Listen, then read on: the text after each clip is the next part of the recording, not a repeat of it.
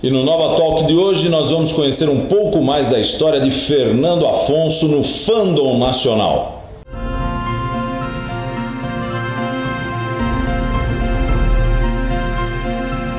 Muito bem, Fernando. Vamos fazer uma entrevista aí, porque eu tenho. Sabe que tá no livro, né? Você sabe tá no, tá no livro? livro. Tudo né? que você tá falando tá no livro? Não tudo, né? Porque você escreve no livro muito mais eloquente. Ó, oh, muito bem. Tá então, vamos lá. Uma das perguntas aí que alguns membros do clube vêm, de vez em quando faz para mim, fala, faz pro Fernando, sei lá eu, que é, uh, bem, primeiro, por que que só agora você resolveu fazer, dar essa entrevista, falar sobre a tua vida no fandom? Assim, é, eu não queria falar sobre isso antes, a gente tinha conversado sobre isso antes, mas assim, de verdade, verdade, verdade, eu cansei de ir em evento e ter gente me cumprimentando olhando pra cabeça para baixo, como se eu tivesse traído alguém. Realmente cansei. Peraí, então você tá falando de Star Trekkers? Coisa que, sabe, às vezes você vem alguém buscar alguma coisa que tava com você, a pessoa te cumprimenta, sabe, como alguém tá me forçando a falar oi pra essa pessoa. Eu achei meio. Sabe, às vezes chateia isso. Você é amigo das pessoas há tantos anos e parece que por eu ter vindo pra frota eu fiz alguma coisa errada. Então, Bé, traduzindo então, você só resolveu dar essa entrevista porque falou, poxa, meu, por que, que os caras estão me olhando diferente? E ó, vamos deixar muito claro, não é todo mundo e nem a maioria maioria, mas ainda tem pessoas que fazem isso, eu acho meio triste. Hum, então tá, vamos lá. Então conta aí, desde quando você gosta de Jornada nas Estrelas? Não lembro de uma fase da minha vida que eu não gostei. Quer dizer, você nasceu pais, gostando? Meus pais, quando namoravam, assistiam, então não sei. Não sei então, desde sempre você assiste, né? Sempre. Eu lembro, o primeiro filme que eu lembro de assistir no cinema foi Star Trek 5 no Commodore. Então, para você, Jornada representa o quê? Eu, eu não sei quem eu seria sem jornada, porque eu tenho certeza que muito da minha formação ética pessoal vem de. Quer dizer, tua estrutura de personalidade tem muito, muito a ver. Muito provavelmente, porque quando você cresce assistindo uma coisa repetitivamente, vendo aquilo, pô, que tem vários episódios que eu recito as falas, sabe? Então, não tem como falar que isso não te influencia. Tudo que você gosta é, faz parte da sua psique, da sua influência. Eu concordo com você. E qual foi o teu primeiro fã-clube? Então, meu primeiro fã-clube foi a Frota. Foi em 96, eu fiquei sabendo da vinda do George Takei pro Brasil e não consegui comprar ingresso, estava esgotado. Estava esgotado? Estava esgotado. Pô, foi mais de 3 mil. É, é, é, é, então, eu não consegui, eu lembro que eu fiquei sabendo, já estava esgotado, foi a, mas de, na próxima para nunca mais faltar em uma. Ah, que legal. Então o teu primeiro fã clube foi a Frota. Foi a Frota, esse que é a questão que eu Aí vejo. você só parou de frequentar a frota, frota, quando a frota realmente parou de fazer eventos. É, lá por 2003, 2004, olha, eu ia em outros eventos na época de 2001, 2002. A Silvia fazia uns eventos muito legais sim, no ABC, tal. O, o Wilton fazia uns eventos legais lá na Tamandaré. E tipo, eu não tinha esse costume de ficar baixando episódio tal e coisa. Eles passavam os episódios que eu não tinha visto, não só Star Trek, Battlestar Galáctica, outras coisas que eu gosto. Então ver. Eu, eu tava ligado no momento fandom. E aí você foi para a FEFESP? É, então, eu realmente demorei bastante, né? Porque a frota ela vai terminar de, oficialmente em 2004. 2004. Eu só vou começar a fazer parte do grupo oficial da FEFESP em 2009. 2009. Eu tava realmente, com nem todo o pessoal da, da, da, dos e-mails, né, do grupo de e-mail, a gente de vez em quando falava: o Luiz não vai aguentar, daqui a pouco tem convenção de novo. Não, eles vão sentir falta de convenção. Então eu fiquei esperando. Eu fiquei anos esperando. Eu só fui, eu ia nas convenções da FEFESP, eu ia, eu gosto todo mundo da FEFESP, né? Mas, tipo, eu só fui entrar oficialmente pro grupo em 2009. 2009. E você ficou até quando? Eu fiquei, acho que até 2014, mais ou menos. Ah, Problemas que não necessitam ser comentados por ninguém, pessoais, internos, fez muitas pessoas acabar saindo na época. Hoje nenhum desses problemas ainda existe, na verdade, todas as pessoas que estavam envolvidas hoje estão todos de bem, tudo cara. E tipo, como tem a ver com o pessoal de pessoas, eu não vou comentar, mas todo mundo hoje não existe mais nenhum tipo de atrito, mas na época teve, ó, eu vou falar, sabe por quê? Facebook essa coisa de briga de mídia social e gente que entra e xinga e um defende, outro defende, criou um problema no mundo real. E ali naquele momento eu acabei saindo e junto com outras pessoas acabei indo para fundar o Star Trekkers. Então você é fundador do Star Trekkers? Eu sou fundador do Star Trekkers, eu sou um dos fundadores, não sou muito. E isso aconteceu em 2000 14, 15. 14, 15. Então, quer dizer, recente até. Sim, né, foi uma coisa, foi um trabalho. Muita gente que estava na FEFESP veio, algumas pessoas que já tinham saído por outros motivos. A vida acontece, a vida acontece. E aí a gente se juntou para fazer o Star Trekkers. Eu cheguei até a ser presidente durante um período do Star Trekkers. E aí você acabou saindo.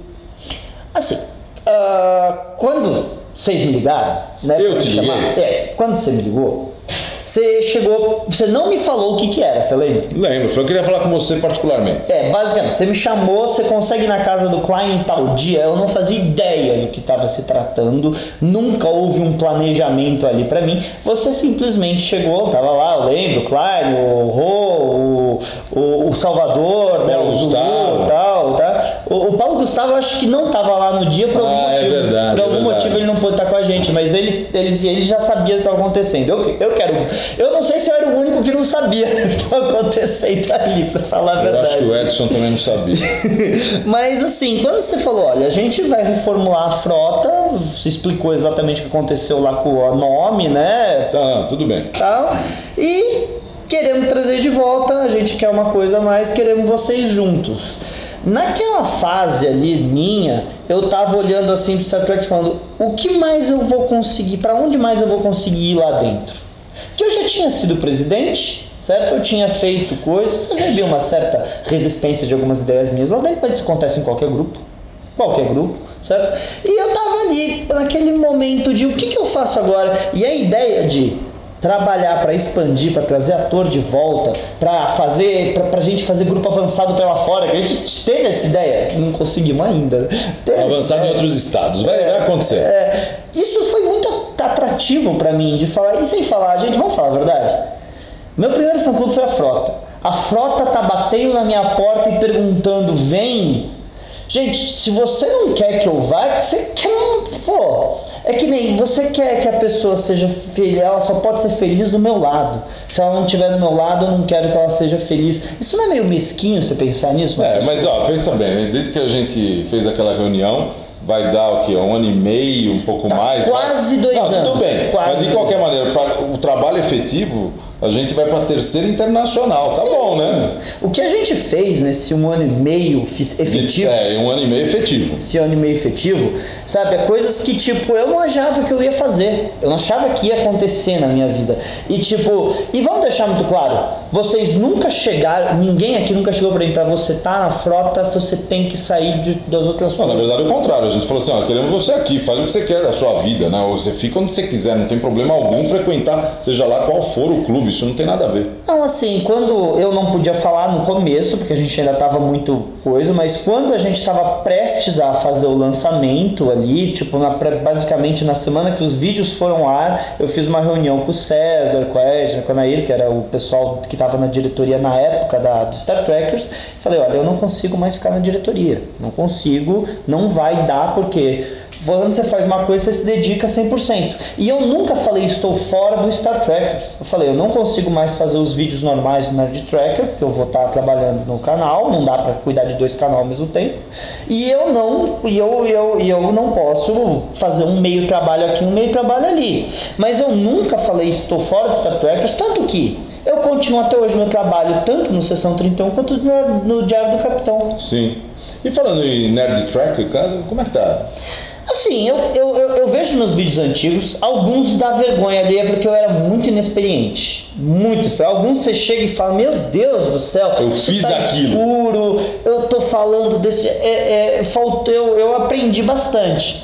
Mas assim, eu vejo que existia. Eu, eu fico mó feliz quando eu olho um vídeo meu lá do Nerd Tracker que está com 7 mil visualizações. Fico feliz pra caramba. Fico, pô, que legal, que legal tal. Coisa. E ao mesmo tempo você fica meio triste. Fala, por que, que essas pessoas não estão me vendo agora? Ah, vai ver. É. Vai voltar os 20 mil aqui. Falando nisso, então, para encerrar, o que, que você espera agora do futuro do, do, do fandom? Você e o fandom. Olha, o que eu espero, falar a verdade, é que as pessoas façam cada um o trabalho delas com coração e nunca façam o trabalho delas apoiado, vou fazer melhor que o outro, tipo, com uma coisa ruim. Eu acho que todo mundo tem que fazer o melhor que pode, mas eu não quero fazer o melhor que posso para humilhar o outro, eu não quero fazer o melhor que eu posso para mostrar que eu sou melhor que o outro. Eu acho que cada um tem que fazer o que faz com amor e o que consegue. Na verdade, o objetivo da nova frota sempre foi agregar, né? Tanto é que a gente trabalha muito bem, trabalha com o Valdomiro, trabalha claro. com o Capitão, trabalha. Tracker, o Trek Brasilis. O Trek Brasilis é o cara que monta, ajuda a montar revista, né? Diário de bordo. A gente, a gente Assim, a gente agora, eu não sei que, quando que a gente vai conseguir colocar isso no ar, mas estou lá com o Heitor, lá na Baixada Santista, fazendo negócio e tal. A questão é que, tipo, vamos fazer o que dá sempre. E onde me chamam, onde eu vou, se eu não consigo ir num evento é porque eu tenho outro em cima, eu tento mais, ou então porque minha namorada quer me matar. Bom, isso é normal, existe um negócio chamado vida fora da, do fandom, né? E a gente não sabe se a gente vai estar fazendo isso daqui a um ano. Deus queira, mas. Deus a, queira, a gente nunca sabe. Eu posso acabar tendo um problema pessoal, profissional ter que sair, você, uh, Salvador, o Ru, Edson, todo mundo pode ter alguma coisa e vai saber. Eu não sei, a gente não sabe. Então, eu quero, hoje eu estou me dedicando muito da minha vida a esse projeto, porque é o que eu posso fazer hoje. Eu não sei minha vida amanhã. Não, eu espero que dure muito. É exatamente. Quem sabe se vai estar vivo, mas espero que dure muito e a brincadeira fique melhor e a relação entre as pessoas que estão envolvidas seja bem sadia, saudável e boa. Deus queira que daqui a 20 anos o pessoal que esteja cuidando da frota me chame para escrever um capítulo do livro dos 50 anos, sabe? Ia ser ótimo. Mas, mas, de verdade, eu não sei se eu vou estar no fã clube daqui a 20 anos. Ok, ok, normal. Então, pessoal, é isso aí, um desabafo de Fernando Afonso para vocês, tá legal? Até mais, tchau, tchau.